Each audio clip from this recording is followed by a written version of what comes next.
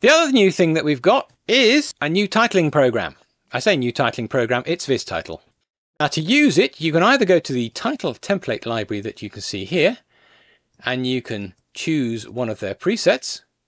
Yeah, loads and loads and loads of them. Grab something like that and put it onto the timeline. And there we are. I now have got an animated title. Blop.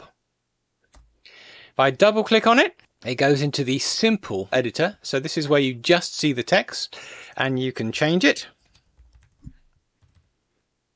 So obviously you can change the words, you can change the fonts and that kind of thing. And then you just save it. And now you've got a new title. If you want more titles of the same thing, just make a copy of it in the usual Edius way. Grab it, drag, hold down on control, let go, go into it. Change the words. Do an auto save as. So rather than saving it, it's saving it as a new version. Now I've got two titles, different words based on the same thing. It's how VisTitle's work for ages. It's lovely. Also, VisTitle's really good at playing back stuff in real time. So one of the things I preferred about it to NewBlue was that I could just generally pop a title on there and play it without lots of faffing.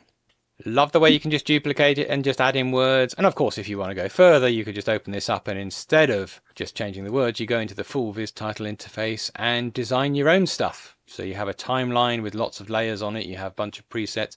You want to know more about using VisTitle? I have got a few basic VisTitle tutorials on my website.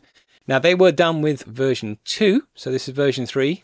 On the face of it, everything looks pretty much the same, but of course it's the Express version, so there'll be some things missing. So for example, things like this, 3D Particles is a plugin, blah blah blah. You can activate it by buying the actual plugin.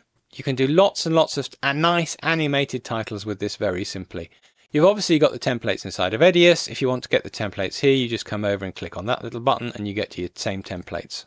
And you can go through them and just double click on it and change what the template is, whatever.